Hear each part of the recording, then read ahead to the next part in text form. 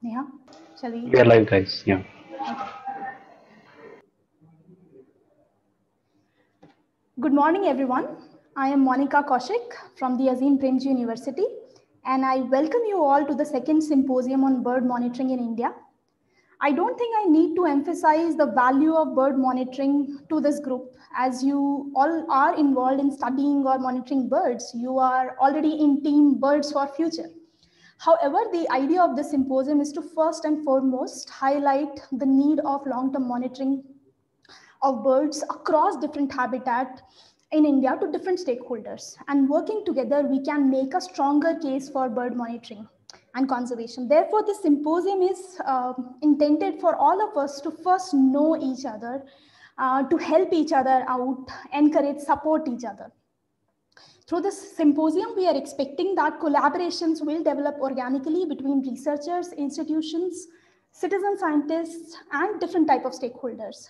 People involved in bird monitoring can help in identifying location-specific threats or emerging threats to the birds, uh, challenges or limitations faced by them at different stages of bird monitoring, suggest material or support required for improving their bird monitoring work the first bird monitoring symposium happened in 2021 and that was the first attempt and first of its kind symposium focused on bird monitoring in india. We received an overwhelming response from the participant. More than 400 individual registered for that symposium and close to 135 were um, engaged throughout the throughout the symposium on the slack and different platform we were using for communication there were 19 invited talks and 16 contributed posters encompassing a wide variety of uh, research questions and different type of bird groups. The invited talks shed light on some brilliant monitoring work by individuals and organizations um, encompassing work on raptors, hornbills, forest owlet, Himalayan passerines and their uh, parasites, results of um, avian uh, waterbirds and Asian waterbird census, highlights of the state of India's uh, bird report to name a few if you're feeling that you have missed out on these uh, talks, so don't feel bad. These all talks are archived on the bird monitoring uh, website under the tab past event.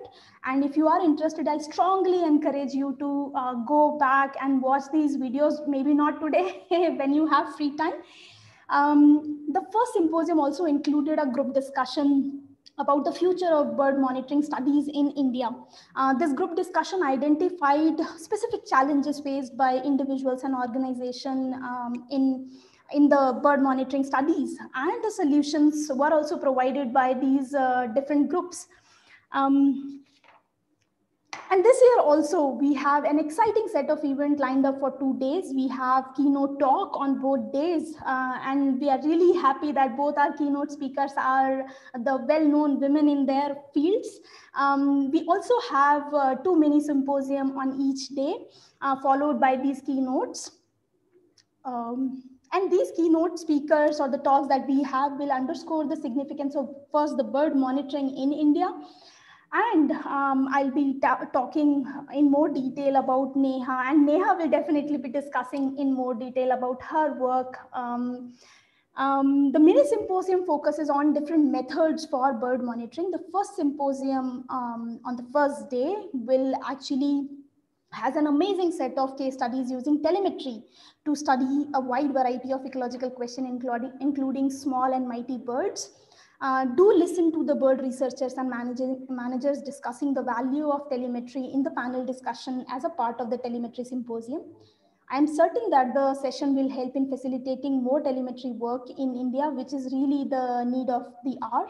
The mini symposium on the second day is something very close to my heart, is a testament of collective citizen action to contribute to scientific knowledge on birds, including uh, their spatial patterns, seasonal changes, and species trend over a geographical area. The mini symposium include invited talks on atlases from Mysore, Coimbatore, Pune, and Kerala, followed by a moderated group discussion on different aspects of bird atlases, including atlas design, analysis, public engagement, stakeholder funding, and tech. Cherries on the cake are poster sessions submitted by uh, our participants showcasing bird research and monitoring uh, effort by different individuals across from across the from across the country um, and before I move forward and uh, um, introduce our first speaker, I will first announce some housekeeping um, uh, um, housekeeping announcement. So first is take a look at our updated schedule for any last minute change. There might be people dropping out uh, from the talks or not presenting a particular poster. So please look out if there is any change. Um, if you have a question, do post your question to the speaker in the appropriate channel. So you already know that we are using a Discord, we are using uh, YouTube, we are uh, live streaming these talks. So please use appropriate channel uh, for your question uh, to a particular person. You can also use um, a at symbol for tagging the individual to whom the question is directed to. The moderator for each session will also ask your question to the speaker and the speaker may also respond. If the questions are uh, too many, they can, the speaker can use Discord uh, to have a discussion after the talk. So you will have all the time to ask your question even when the talk is over. Now, uh, I also request Preeti if uh, uh, to help me out if I missed on anything. Preeti, do you want to add anything? Uh, regarding the announcement or should I go ahead? Please go ahead. I think we're good. Thank you. Thank you, Preeti. Um, so our first speaker, I don't think she require any introduction, Miss Neha Sinha is an award-winning wildlife conservationist. Her work, Wild and Willful, is in the Hindu's top 10 non-fiction book of 2021. Neha has studied biodiversity conservation at Oxford University, after winning an Inlaks scholarship, Neha heads conservation and policy unit at the Bombay Natural History Society and is leading commentator on the environment. And she regularly writes for Hindu, um, Hindustan Times, Bloomberg, Quint, Telegraph, Wire, and others. Um, working with Bombay Natural History Society on policy and advocacy, Neha has provided valuable in, inputs on Amendment of Wildlife Protection Act 1972, Wetland Rule 2017, Compensatory Afforestation Fund Act 2016, and TSR Subramanian High Level Committee to Review Environmental Law 2015. And if you follow Neha on Twitter like me, then you already know that she keeps a close eye on the birds uh, from her balcony as well. And there is a beautiful uh, Bombax ceiba tree somewhere close to her house where uh, she might be looking at chirpy mynas or elusive yellow-footed green pigeon. The way she describes uh, their behavior even nudges a non-bird watcher to watch bird. So today Neha is discussing a very relevant topic uh, of the role of bird research and monitoring activities on proposed changes in wildlife law and policy in three main pieces of legislation, the Wildlife Protection Act, the Conservation, the Forest Conservation Act and the Biodiversity Act. And I'm pretty sure you are eagerly waiting for her talk. So without any further ado, I now welcome Ms. Neha Sinha and invite her for her talk. Thank you, Neha. Thank you so much, Monica. Such a pleasure to be introduced by you. And such a pleasure to see young women, so many young women in this symposium. I'm going to start sharing my screen. So we're talking today about whether bird monitoring influences policy in India. So there's a question mark in the title, as you can see. And when I say bird monitoring over here, I'm using it as a very wide term. It can uh, mean bird monitoring done by a particular organization. It can mean bird monitoring done by citizen groups.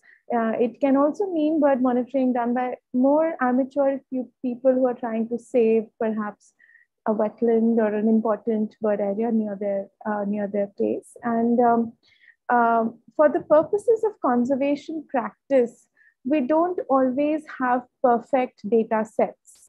And uh, uh, we have an opportunity in India to actually create better uh, data sets. And I really hope that one of the takeaways from this talk and this symposium can be inspiration for all of us, me included, to contribute to better data sets uh, on birds so that we can actually influence policy.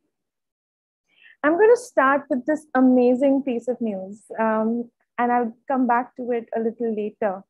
This is just a couple of days ago. The Gujarat Energy Department has proposed that four Great Indian bustards, female Great Indian bustards in Kutch, which is in Gujarat, should be relocated to Rajasthan. And uh, the context over here is the fact that the Great Indian bustard is an iconic bird of arid grassland and scrub forest. And this is a bird that has been lately uh, a symbol for our um, for our conservation uh, interventions that we're trying to make in this threatened ecosystem. It is uh, the state bird of Rajasthan. It is also the um, it is also the symbol or the mascot for the Convention on Migratory Species, of which India is a part. I'll just get back to it a little later in this presentation.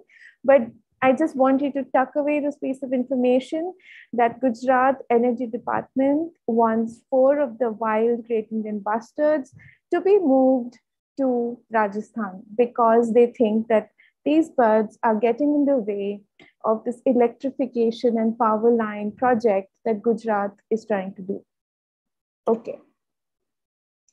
Now, this is actually a very pertinent topic that we're talking about today because the government has recently uh, attempted to change three important uh, laws connected with the environment.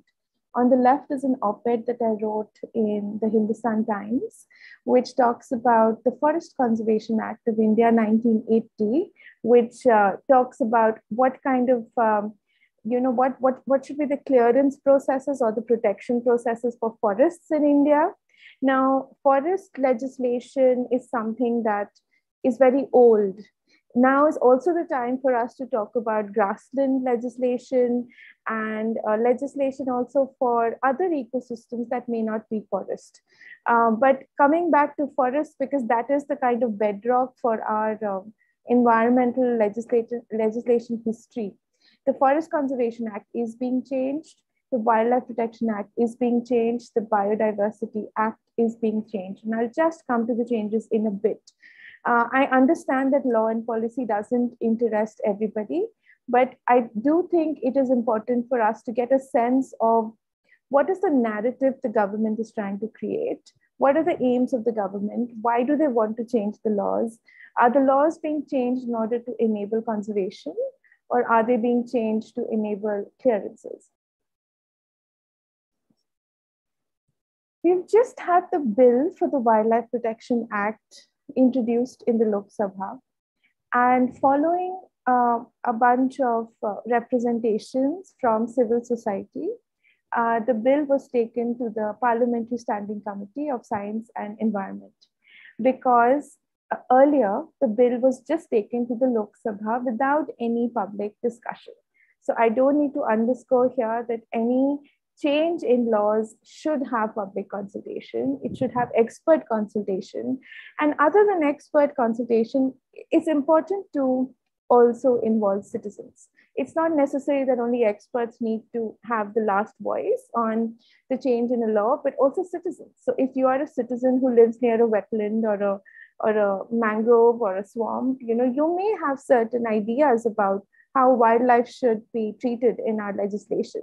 So if you see the previous headline, this is another piece that I wrote. Um, um, what explains the center's haste to amend our laws? So both the Biodiversity Act as well as the Wildlife Protection Act were brought to the parliament without any public consultation. And uh, we've actually made a bunch of representations to the parliamentary committee now. But just to say that, you know, the Wildlife Protection Act puts the wild animals and birds of India in schedules. So schedule one is the most protect, most protected. Schedule two is a little less protected. But in the even in the new bill, which is of last year, that's 2021, we have a whole bunch of birds and animals missing. And this brings us to the question, do we have agreement of what are the birds we have in India? It's a really simple question, but it's a question that bears a little bit more thinking because you and I, as people who are interested in birds, may agree that there are 1300 plus bird species in India. We may agree on a particular list of birds or a particular bibliography of birds, But does the government know this? Does the policy maker, the MLA, the member of parliament, you know, the person in the real world who's interacting with and creating policy, do we have an agreement that these are the birds we have in India? Uh, do they want to know? Is, is, it, is it important for us to keep highlighting that these are the birds we have? And if people don't know, is it important to bring that to their notice? So for example, these are some birds which are really endangered, but they're not there in the new schedule of, of the Wildlife Protection Act. And you know, the, the original Wildlife Protection Act was 1972. So that's like 40 years ago. So obviously the act does need um, updating. But you may ask whether the mask finfoot is still found in India. I would say it's historic range and there could be a few individuals and therefore it, it should reflect in, in the schedules of the act. Uh, even the gray crown prinia, for example. But, you know, this brings us to a very basic existential question. Do we have agreement on what birds we have in India? And if we have, as scholars, we agree on what birds we have, but somehow it doesn't make its way to, you know, the Parliament of India, uh, to people who are actually making the law. So that's something for us uh, to think about as we go forward. There's also the Biodiversity Act of um, 2002, which is being amended. And while it doesn't deal with birds um, directly, it, it does you know, bring about sweeping changes that are in uh, pursuit of building a better Ayurvedic or pharmaceutical industry.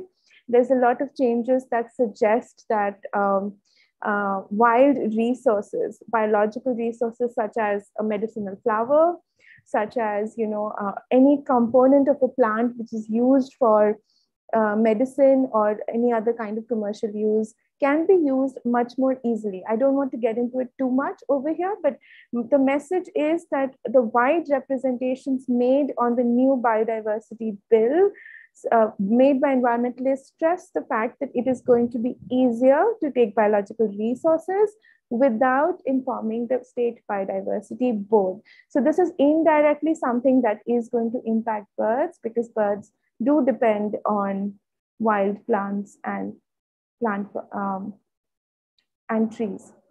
There are also Forest Conservation Act changes that are proposed, and this I'll get into with a little bit more detail. So uh, the Forest Conservation Act uh, lays out a clearance regime for forests under which circumstances do we clear or divert forests for any kind of project. And the highlight of the change they want to make in the Forest Conservation Act is to give right of way to highways and to railways. And amongst a wildlife that gets impacted by uh, highways and railways, birds are also one of the taxa that, that get impacted. We have vultures, for example, regularly dying uh, being hit by trains. And, you know, even things like um, a ropeway project, which appears to be very, you know, benevolent, can impact bird habitat depending on where it's being made. So a lot of ropeway projects, for example, are typically in places with gorges and those big, big rocks, which, which are cliff nesting sites for birds, etc. And uh, other than this, um, there's also a proposal to exempt extended reach drilling, which is for oil and gas, and surveying for oil and gas to exempt that from the Forest Conservation Act, which means that if these activities are, are done, uh, the, the project developer should not need to get any permission from the government, the Ministry of Environment, because these, uh, these activities, such as extended reach drilling, survey and investigation for oil and gas, are being painted as um, very benevolent processes which don't actually harm forest. So we have a narrative being made that certain industrial activities do not actually harm the wild habitat in which many of you know the, the this wildlife that we study actually stays. Of course, you know, other than all of these legislative or policy changes, we also have, you know, this amazing citizen uh, science and bird monitoring movement um, in India. So the state of India's bird report, this, this piece is actually about that, uh, you know, is of course a product of of all of this um, effort coming together. So is the Kerala Bird Atlas, which is absolutely a magnificent piece of work. And uh, uh, so are many other smaller, you know, uh, initiatives that don't always get, uh, you know, they, they, don't always get well known. You know, there are, uh, for example, Wild Orissa conducts these riparian, you know, bird counts every year. There's, of course, the Asian Water Bird Census. These are very old and established um, uh, you know, initiatives. And again, we must ask, you know, in a country that's so vibrant, with so many people interested in birds, this is really the hope for tomorrow. At the same time, we, we must work harder at taking these findings to the policymakers because we, at this point, we don't even agree on which birds we have in India. Um, this is a, a, little map made by my colleagues at the BNHS. Uh, the Veterans Department has made this map, which um, basically, you know, looks at uh, uh, bird recovery, uh, either ringing or satellite tagging. And uh, the birds, of course, are moving between India and China and India and Central Asia.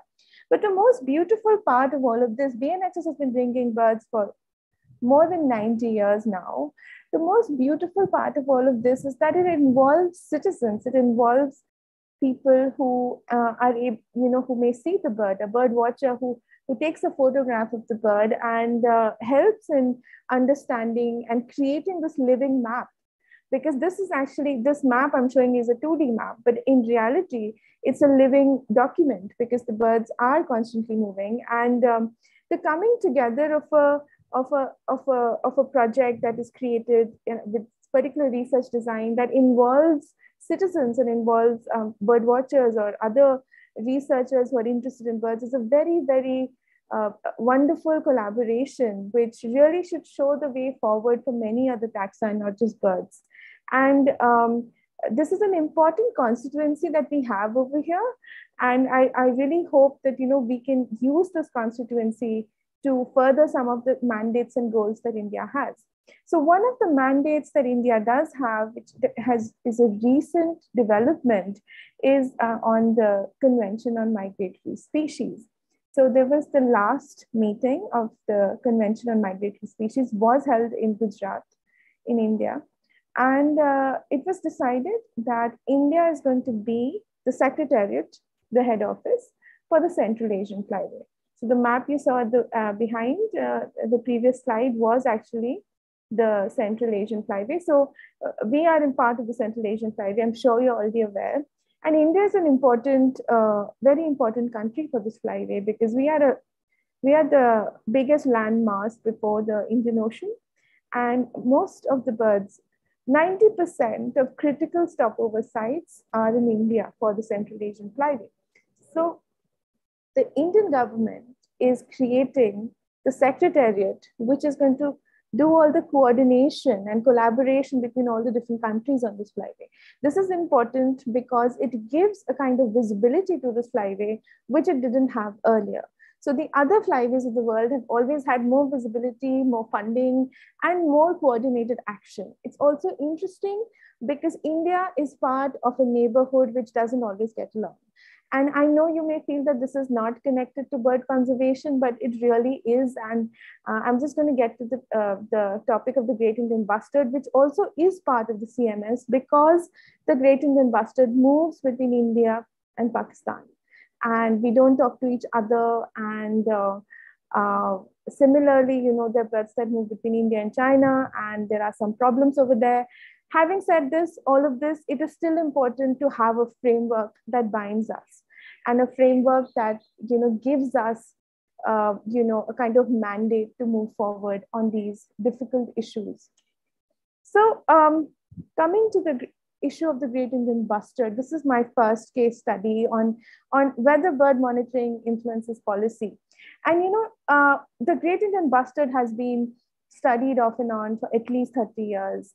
And you know our generation has witnessed the decline of this bird from, you know, uh, central uh, India, the Deccan Peninsula, to now just mainly Rajasthan and Gujarat. And um, uh, in April 2021, last year, exactly a year ago, the Supreme Court of India said that power lines in the Great Indian Bustard habitat must be taken underground because of course, as you know, the bird, you know, collides with power lines and it dies. And the entire place, um, the entire place that this bird lives in, of course, is um, grassland. I'm just showing you this. I, I know you already know about it, it's just such a beautiful thing to see. This kind of waving grassland with the uh, chinkara standing at the back. And, you know, it's really important. My previous slide, I've written, this is not a forest. Um, this is not a forest story. And this is important because when policymakers see this kind of landscape, they think it's a degraded land. And we actually have, we're part of the United Nations Convention to combat desertification. So desertification it gets confused with desert. So natural desert, of course, is not degraded. Other areas which are not natural deserts may get degraded into a more desert form, but a natural desert or a natural you know, dry grassland, of course, is not a degraded ecosystem. And these are all kind of ideas that we have to work hard at dismantling. So this area, which has great Indian bustards, looks like this, it looks brown. And um, in order to save this place, we also have to create value for how this looks and how, you know, it um, should be protected. So um, there are these giant, massive power lines that are coming up in both Thar and Kutch. And, you know, when you see this, you know, it's like basically hundreds of kilometers long. It's a mesh, it's a mesh of wires, and uh, birds are dying all the time. Great Indian bustards are dying, and so are other birds. So, this is what our BNHS uh, bustard uh, team has found. Uh, this map shows the collisions of um, uh, different bird species and power lines. And this is also done, you know, along with locals. So the bird monitoring doesn't isn't always just people, you know, with smartphones. Sometimes it's also more old-fashioned in some parts of India. It could be people calling you up and saying, "There's a bird that's died. Please come and see." Of course, the aim is to get everybody on and making bird lists, but sometimes bird monitoring can also be much more you know old fashioned depending on which part of india we are we are in or what the local circumstances are but if we just look at this map power lines are not just killing great indian bustards they're also killing eagles they're killing even rock pigeon which is such a small bodied bird right so big birds and small birds both it's killing uh, uh, migratory species like the steppe eagle it's killing uh, resident species like the egyptian vulture and uh, cranes. So big birds, small birds, resident birds, migratory birds. This is only one small area. In the Thar, it would be killing many more birds in the in the larger landscape. Now the thing is, where, why am I telling you this? I'm telling you this because the great Indian bustard is a bird that has been monitored. It is a bird that's continually being monitored. It's a bird that is critically endangered with 100, about 100, 120 left in the world that we know of. Uh, we are not able to work with Pakistan under the CMS. So whatever we do domestically for this bird will tell us what the future of this bird is going to be. Now, what is the policy response? So last year's Supreme Court order, which said take the power lines underground, was completely flouted. Okay, so this is a report that we did, uh, which, which gave all the details of the violations of uh, the Supreme Court order. Basically, the Supreme Court said don't make power lines or take power lines underground. And as a result, uh, in trying to quickly, you know, territorialize, uh, these power companies just kept making illegally, they kept making all these power lines and they started coming up overnight. So between last year, between April last year and this year, there's been a lot of new construction of power lines. And uh, I'll just take you back to that slide over here. On the right, you see, you know, um, these birds, obviously, you know, sometimes they're flying in a solitary way and sometimes they're flying in flocks. And both flocks and solitary birds like the GIB are getting, uh, are getting uh, into the wires, colliding with them and dying. So if I go back to the very, very first slide that I showed you, which um, has the Gujarat Energy Department talking about translocation. So any of us who study birds will understand that Gujarat and Rajasthan are not far for birds. So even if you take the birds to Rajasthan, they are going to fly back to Gujarat. The point here is that uh, the government currently is trying to say that we need to have more green power because that is our climate change commitment as per the Glasgow Agreement. And therefore, we must, you know, lay these solar and wind farms in these desert areas. And um, I think they want to basically remove the GIB or, or basically say that, you know, this is a cost that we should be willing to pay. And this is something we all need to kind of guard against. This kind of creation of a narrative that a wild bird is better off, you know, just flying away somewhere. So the, the, what they try to say is that we're going to make this project here and the bird will take care of itself for a bird like this, which has such a small existing habitat, this is not something that can happen. It can't just take care of itself and just disappear somewhere. It kind of has nowhere else to go. But this is a good example of how narratives get made. And it's important to understand and intervene, you know, in these narratives. So we should be able to say that this bird doesn't really have anywhere else to go. And climate commitments, uh, and I'll just show you this uh, one piece that I wrote which basically questioned that we cannot basically pit our anti-coal goal, our goal to not have coal, we cannot pit that against the future of the great Indian bustard. So a climate commitment cannot come at the cost of species extinction. And for this bird, you know, again, a great example of of, of, of a bird that may actually go extinct in our lifetimes if we don't intervene. It's not a sensational headline to say the GIB may actually go extinct if we don't uh, you know act now. And still you know the policy response is very very uh, undesirable at the moment. So we need to keep intervening with new data data of collision data where the bird is going data what suitable habit, habitat is left and how we can secure that habitat by taking lines underground. Wildlife institute of india is working very hard on advocacy. Uh, so is BNHS, so is the Corbett Foundation in taking wires underground because constantly these birds are dying. We had the last bird death just a few days ago in Jaisalmer uh, of a female GIB. Uh, coming to another, uh, another um, small case study, a little smaller in its scope. This is uh, just to emphasize also the GIB story is about how despite being an international symbol and also a national symbol, uh, a bird like the great Indian bustard, which, which gets funding, which gets attention, still you know, hits a policy blind spot. But there are also a few different challenges that we have in, in terms of setting policy or in terms of doing conservation. And one of those is um, the interstate uh, or the transboundary nature of wild habitat or ecosystems that we try to protect. This is the case of the Najafgarh Jheel, which is um, in Delhi. And in this map, uh, that dark blue thing in the middle is actually the Jheel. And it's actually part of a river called the Sahibi River. So there's an expert committee made uh, for Najafgarh Jheel, of which I am a part. And I just want to tell you that uh, there's another orange line that goes through the Jheel, which is actually the state boundary of Delhi and Haryana. So most of the water of Najafgarh Jheel is in Haryana. And uh, Delhi and Haryana don't get along, just like Andhra Pradesh and Tamil Nadu, and the case of the Pulicat Lagoon.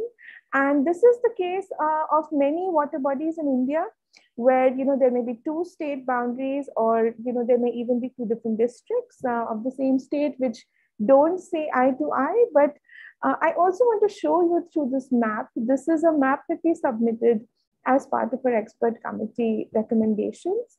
So you have Najafgarh Jheel, but you know, a wetland never is a wetland just by itself. It's part of a bigger complex, right? So if you look towards the south of the map, you have the Sultanpur Bird Sanctuary on the very left. You have a water treatment plant in the middle, sort of in the middle, and that's also an important site for birds. And on the right, you have a private area which uh, where there's fishing. It's called Basai Wetland. So in this small landscape, um, you know, which is an agrarian part of Delhi and Haryana, you have the Najafgarh Jheel, which, which is formed by the Sahibi River. You have the Sultanpur Bird Sanctuary, which is a national park and protected. You have a water treatment plant, and you have a private wetland. Now, in this area, uh, you have so many birds coming. And this is one of actually the richest birding spots in Delhi NCR. And I'm showing you the common crane just because, you know, uh, you may not assume that the common crane comes to Delhi, but it really does. Because this is a photograph I took um, near, uh, near next to Najafgarh and uh, in January, I think. And uh, a whole bunch of trains come here apart from raptors and a lot of birds and there's a lot of eBird data for Najafgarh. And it's also a good example of how, you know, we must keep making bird lists. We must keep updating our knowledge. We must keep, you know, uh, uh, bringing more people in as much as is possible. So whatever we've been able to do for Najafgarh, you know, where now we've made an environmental management plan from Delhi side and Haryana has made one too. Now it's not perfect because we are not living in a perfect situation or condition, but the bird data has richly contributed to uh, the, the management plans and we actually have a lot more bird data than we have for butterflies or dragonflies or mammals because birds just are a studied taxa. Having said that, because it's a landscape which is part of the NCR, the National Capital Region, you we we may be able to save Najafgarh, but right next to Sultanpur, actually right on the eco-sensitive zone of Sultanpur National Park, we have these new projects coming up, you know, which are uh, hospitals and real estate and housing, which is a looming threat that not only do cities have, it's also a looming threat for a lot of farmland. And, you know, I think uh, personally, I feel farmland is the next frontier for uh, the conservation um, battle, so to speak, because, you know, farmland is so important for birds and yet it doesn't get valued as, as, a, as a bird habitat. And uh, all kinds of you know changes happen in farmlands. Often it's private land. And uh, you know one can only work there uh, in cons- uh, with consensus of whoever the owner is. And it's very difficult to prevent land use change.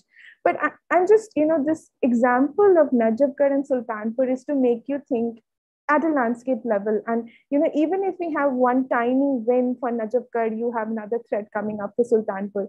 And to consider that these wetlands are actually wetland complexes and wetlands have a zone of influence uh, is, is something that we are still trying to convince policymakers of because they tend to see a wetland just as one thing. They don't tend to see a wetland in relation with other wetlands. And over here again, bird data is important because we are able to monitor that the birds move from Basai to Najafgarh, from Najafgarh to Sultanpur. And all of this is generated by studying the birds and making the data accessible and also peer reviewed. Um, these are my eco clubs in Nagaland. Um, I am showing you this for a bit of inspiration. I run the Amur Falcon project along with Bano Haralu in that uh, Nagaland. And these kids, you know, didn't know anything about birds. They still have a long way to go.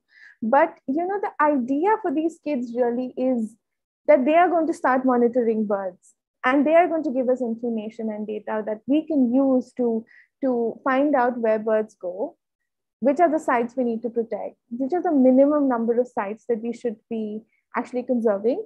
Uh, and Nagaland has a lot of wetlands, it has a lot of paddy fields.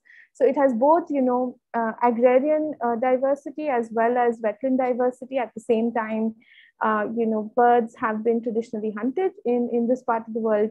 But um, I'm showing you this to say that bird monitoring is one soft step towards conservation. And it, it is not it is not an intervention that appears to be too difficult. It's something that's a scientific and an educational tool, which can very easily be converted into a much stronger and more decisive step for conservation. And uh, I think, you know, a lot of the interest in birds and in conserving them and the fight, uh, you know, that we need to do to conserve them starts with this educational, recreational, uh, and cultural step of bird monitoring and bird uh, just bird watching and uh, learning the names and then learning to monitor them and i'm going to end on a happy note because you know happy notes are very rare in our field but it's good to have them once in a while.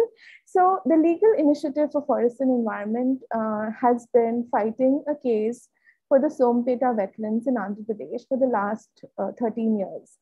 And sometimes the fight for these kind of cases does take 10, 11, 12, 13 years. And uh, the local bird watching community, uh, the Indian Bird Conservation Network, and to some extent the BNHS have been contributing bird information for this site. And uh, the case was earlier against a thermal project, which would destroy this entire set of wetlands over there. Uh, that project was scrapped, and uh, they wanted to then make um, a special industrial zone on top of the wetlands. And uh, SACON was asked to give a report, and they gave a really good report, which uh, basically detailed all the birds that are found there. And no doubt their report was enriched by, you know, all the bird watchers who had made lists for that area. And the most interesting part is, and I don't know if it's true, I'm not going to say that it is because I don't know. The most interesting part is they said that the pink headed duck may have been seen here at some point. And now the question is not if the pink headed duck is in Sompeta. The question is uh, similar to the masked finfoot is whether, you know, whether we need to save an area with the hope that it may get colonized by a particular species.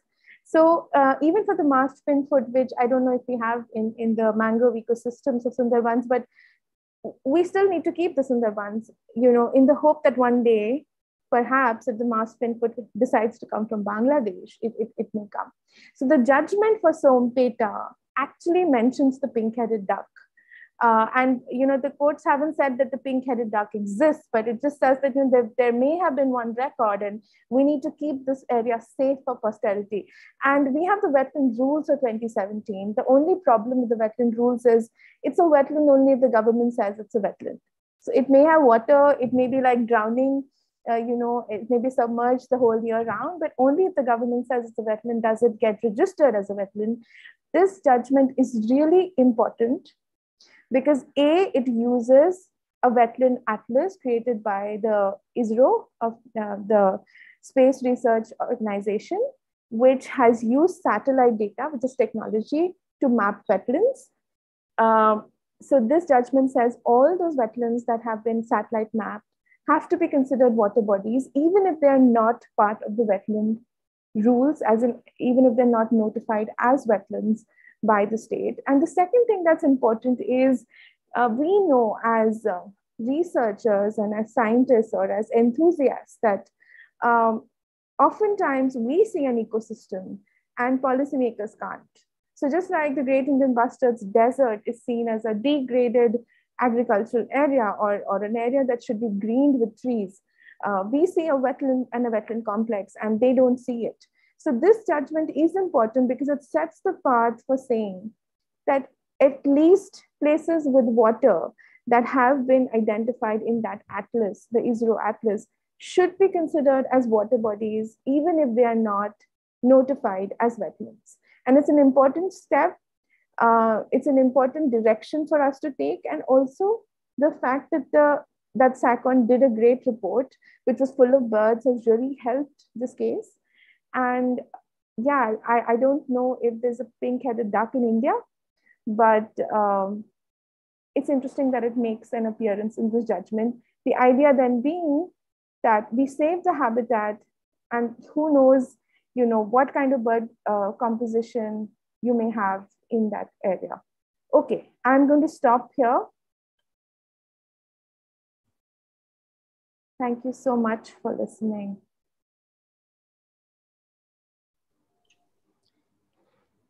Thank you, Neha.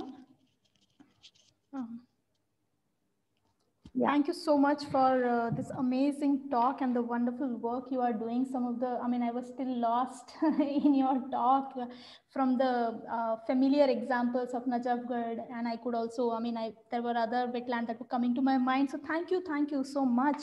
Uh, Neha, we do have few questions for you. So I'll just uh, quickly take those questions. Uh, Praveen is asking, bird monitoring in India and elsewhere contribute to a lot of red listing by IUCN. what is the penetration of actual IUCN red list into the policies in India, our acts and its legal usage? Is it mentioned somewhere in the formal documents? Has it been used in judgments? So we use the Wildlife Protection Act schedules more than we use the IUCN Red List as far as policymakers are concerned. So uh, that's why the new Wildlife Protection Act schedules are so important. And that's why I've started by showing you the birds that are not there in the Wildlife Protection Act because we don't even seem to have consensus. I mean, the policymakers don't seem to agree on which birds we even have in India. So uh, the government tends to use the Wildlife Protection Act as the basis but having said that, the IUCN Red List is also used in documents to say this is critically endangered and uh, or you know is endangered, and um, it's I think it's very important for us to have our own Indian list, and I'm sure you'll agree, Monica, that you know regional lists are not always so useful. Yeah. Right. So the black neck crane is a good example. It's there in Bhutan, but in India, it's only there in a couple of places. It's only in Arunachal and um, you know, around the Ladakh area. So for India, what India should do for black neck crane as an example, you know, it doesn't need to be connected, you know, with what the global population is. Because, uh, you know, if we lose a couple of sites in India, then we kind of lose the bird, right? So I think it's important for us to actually work on our own uh, domestic lists, which should feed into the Wildlife Protection Act. And in my personal opinion, the Wildlife Protection Act should be updated every five years so, you know, from 1972 to 2021, you know, it's been so many years, and even now it's not complete. So, we've all given the recommendation that uh, we should have a greater consensus and a greater expert or even citizen, uh, uh, you know, uh, group of meetings for the schedules of the act. And many plants are missing. Let's not even get into reptiles and fish. Like, they're really not there so we need, uh, you know, ornithologists, botanists, ethnozoologists, um, uh, fish people, all kinds of people in, in the room. And we need to have a full uh, consultation before the schedules are finalized. Yeah. Mm, we have another question from Lakshmi Kant Nive. Lot of work by BNHS and others. Bird data is available, scientific studies, paper are available, but day by day bird count is lower down. Why? Something going wrong in policy making effort for bird conservation? Yeah, I agree. And you know, that's what that's why it's so sad. You know, we actually do have so many dedicated bird scientists, bird researchers, bird watchers. This country is so rich. We are so blessed to have thousands of people interested in birds. But uh, you know, uh, like I said, that these narratives that the government likes, no, because it's like we must have development at any cost, you know, and the cost is paid by the wildlife, right? And I, that's why I went into the Great Indian Bustard example with so much detail. Just see what we're doing to this bird, you know, and we are the last bastion for the GIB, right? If we lose GIB, then it's gone. Then it's just going to be in the enclosures and captive breeding facilities, right? The problem is that we want to grow, but we're not willing to grow slowly. We're not willing to grow carefully, you know, and which is why we have this crazy, insane projects like interlinking of rivers, you know, making giant dams in the Himalayas, even though Himalayas have rock slides and mud slides every year, you know, destroying the coastline by making port after port there's a new threat to Kaliveli Harbor. Kaliveli, as in, it's not a harbor, it's a natural harbor, but they want to make harbors in Kaliveli, which will destroy this olive ridley turtle nesting site, as well as it's an important bird area. It, it, gets thousands and thousands of migratory birds. So on one hand, we are the office for the Central Asian Flyway, and on the other hand, we want to destroy all the all the sites for these large projects. And the idea always is the bird will move which is why Gujarat is also saying, let's move the birds to Rajasthan. It will go somewhere, you know. And uh, uh, for the uh, Ken Betwa River interlinking, that's also important because it's going to drown 100 kilometers of Panna Tiger Reserve, but it's also going to impact these beautiful cliffs that are used by gyps vultures. Anyone who's gone to Panna, I'm sure you've seen those gorgeous gorges and those gorges and cliffs are really unique. Those rock escarpments are so unique to that landscape. So for them to be underwater is such a shame. Especially because Panna was revived. It had lost all its tigers in this long revival process. So I think as citizens, we should all try to counter as much as possible the idea that development can happen at any cost, right? And we should go for smaller projects that don't have such huge impacts. Yeah. Okay. Um, we have a question from Kirti. I don't know uh, whether it is something that you will be able to answer, Neha, or not, but are there MLAs and MPs who are active birders, or how can people uh, at their level be roped in into this activity?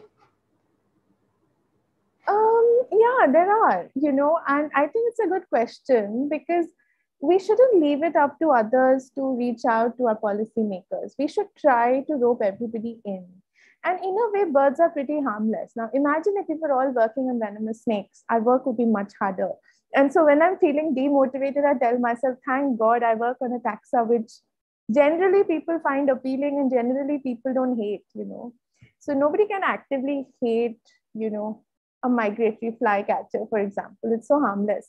So um, it's really important. I cannot emphasize how important it is to rope in our local legislators.